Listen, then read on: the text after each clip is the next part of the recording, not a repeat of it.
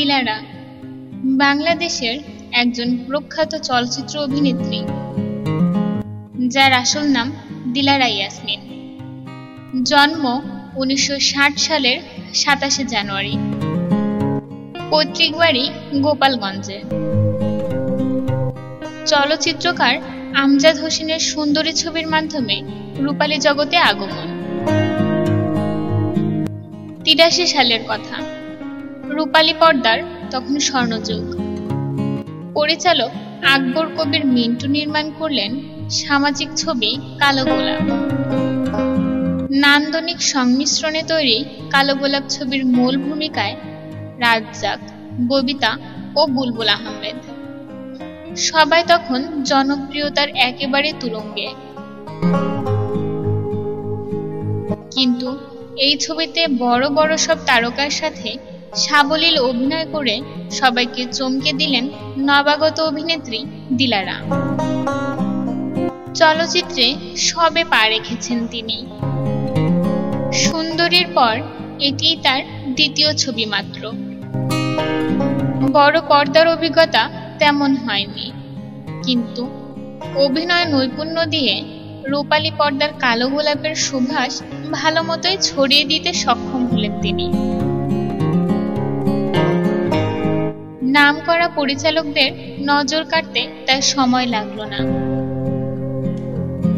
দিলারার কাজল কালো চোখেও তাই অভিনয় নিয়ে স্বপ্ন আরও বিস্তৃত হলো। দেশ বরেণ্য অনেক পরিচালকের ছবিতে কাজ করেছেন এই অভিনেত্রী। ছবির পরিমাণ খুব বেশি না হলেও যতগুলো ছবি করেছেন, তার প্রায় সব কয়টাই ব্যবসা সফলতা পেয়েছে। এক সময় বেশ কিছু টেলিভিশন নাটকেও অভিনয় করেছেন এবং প্রশংসিত হয়েছেন এই অভিনেত্রী। সাতানব্বই সালে অভিনয় জীবন থেকে অনেকটাই নির্বাসনে ছিলেন দিলারা। পরিবার নিয়েই বেশি ব্যস্ত হয়ে পড়েন। কিন্তু দীর্ঘ ২০ বছর বিরতির পর দু হাজার সতেরো সালে আবার প্রাণের টানে ফিরে আসেন এবং ক্ষমানি ছবিতে অভিনয় করেন। সিনেমার বাইরে অভিনেত্রী দিলারা রাজনীতির মানুষও। বাংলাদেশ আওয়ামী লীগের সাথে অতপ্রতভাবে জড়িত আছেন। দিলারা অনেক ছবিতে অভিনয় করেছেন। তার ভাষায় সামাজিক, ফ্যান্টাসি, অ্যাকশন মিলিয়ে একশো হবে।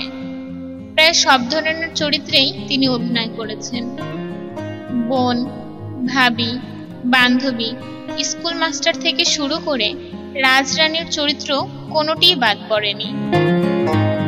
দিলারা অভিনীত উল্লেখযোগ্য ছবির মধ্যে রয়েছে সুন্দরী, কালো গোলাপ সদাগর পদ্মাবতী, বৌরানী, জীবনধারা, অগ্নিপুরুষ সহ আরও বেশ কিছু ছবি।